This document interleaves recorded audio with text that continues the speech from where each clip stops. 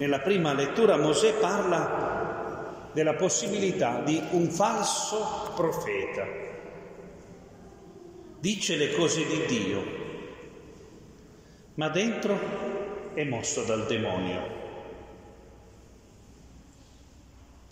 E di solito questi falsi profeti li si trovano nei luoghi sacri, nelle chiese, nelle sinagoghe. Quell'uomo posseduto dallo spirito impuro forse era proprio uno di questi falsi profeti.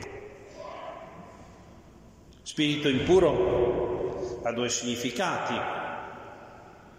Spirito, creatura spirituale, quindi un angelo, ma anche spirito come motivazione, stile, Spirito impuro è un demonio, un angelo decaduto, ma spirito impuro è uno stile che mescola bene e male, che mescola motivazioni buone e cattive, che fa il bene per orgoglio, ad esempio.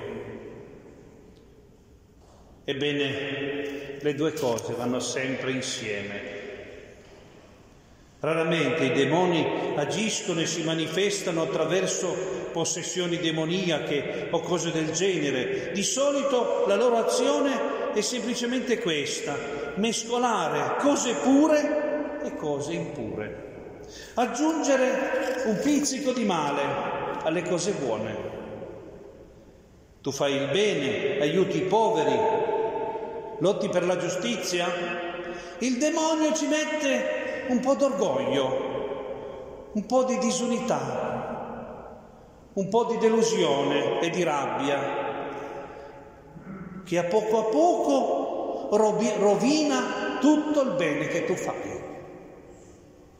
Tu preghi, vai in chiesa, vai in sinagoga, come quella persona, il demonio ci metterà un po' di voglia di farti vedere, un po' di compiacimento che gli altri dicono che sei bravo, un po' di voglia di insegnare agli altri come si prega e la tua preghiera è subito rovinata. Perché sei così occupato a pensare a te stesso che la tua preghiera non è più incontro con Dio. Le cose peggiori le si fanno in nome di Dio essere troppo rigido quando Dio non è rigido, o essere indulgente quando Dio è severissimo, dare false immagini di Dio, prendere le prerogative di Dio e presentarle al momento sbagliato. Questa è l'azione del demonio. Questo è il modo con cui lavorano i falsi profeti che usano il nome di Dio per servire se stessi, quel che loro vogliono, non per liberare le persone, ma per controllarle piuttosto. Non è che Gesù ce l'ha contro gli scribi e i farisei in generale, no. Ce l'ha con i falsi profeti che sono tra loro. Perché in realtà sono posseduti da uno spirito impuro, anche se non se ne accorgono. E la stessa cosa può valere per i preti e per i vescovi. Gesù è santamente anticlericale. Anticlericale per liberare il clero dall'influsso del demonio.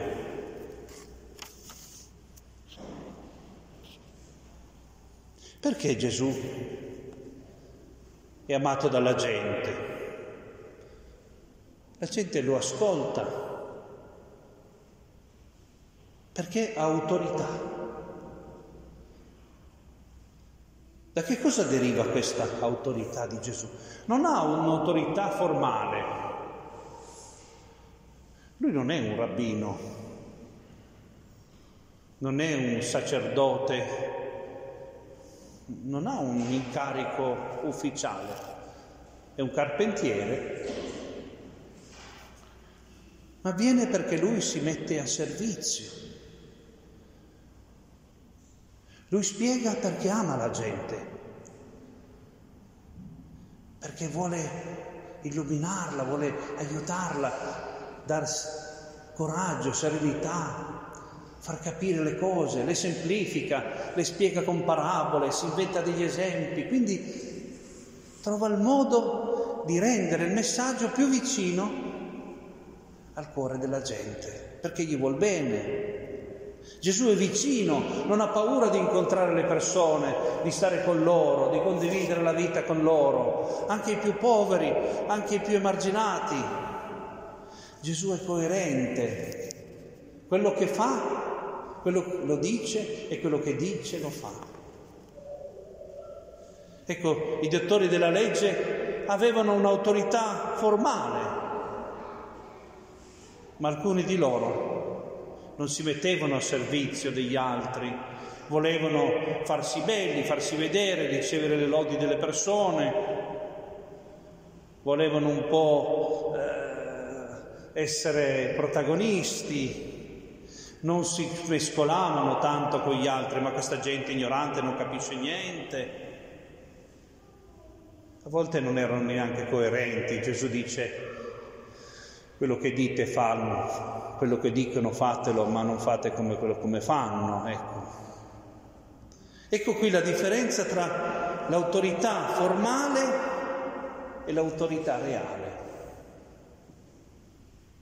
A volte le cose possono andare insieme. Tu può darsi che hai un'autorità, hai una responsabilità, ma devi trasformare questa autorità, che sei il capo di qualcosa, in un'autorità reale, in un modo per servire.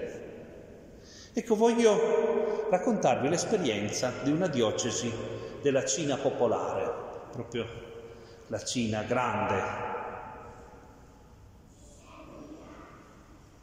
Durante il primo lockdown, il vescovo di quella diocesi ha deciso di fare il volontario proprio come fate voi della protezione civile. È andato per primo a offrirsi, a prendersi cura di chi era nel bisogno. Allora i due vicari generali della diocesi hanno fatto la stessa cosa e tanti preti hanno seguito l'esempio, anche tanti laici, tanti credenti. In Cina la Chiesa cattolica è vista molto male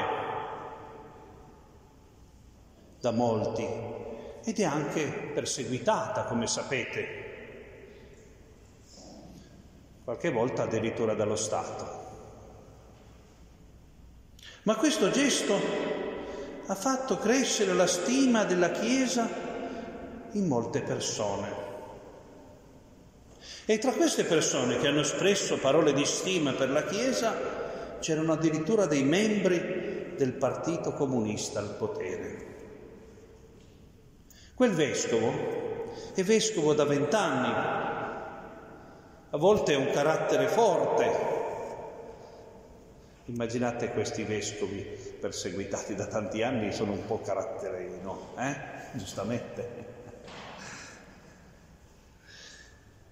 E qualche volta i rapporti con i preti sono un po' difficili perché lui un po' comanda un po'. Ma questo impegno comune al servizio di chi aveva bisogno ha migliorato i rapporti tra preti e vescovo. Adesso nel 2021 c'è un nuovo lockdown e lì lo fanno seriamente in Cina, eh, i lockdown. Ebbene, il vescovo ha subito ripreso a fare il volontariato. Ecco, vedete, ha trovato la strada per trasformare la sua autorità formale in una autorità reale. Ecco, la fantasia dell'amore. Allora trovate anche voi questa maniera non è che Gesù ce l'ha, lui era rispettosissimo dell'autorità, eh? Però non basta l'autorità formale, devi farla diventare reale, metterti a servizio, star vicino alla gente.